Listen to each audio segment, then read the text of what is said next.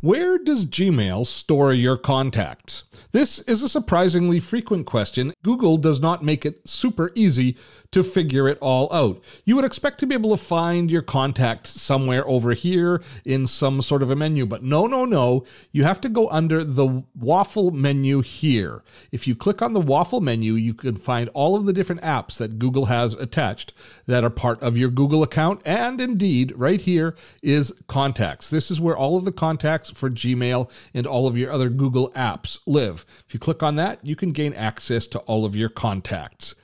Where are my contacts in Gmail? Under the waffle menu. It's just that easy. Now, I hope that we've helped you out, and if we have, I have a small favor to ask. Could you go ahead and hit that like button here in YouTube? Now, check out our other videos or sign up for one of our free webinar Wednesday tutorials. The link is right here. Till next time, I'm Steve Dotto. Have fun storming a castle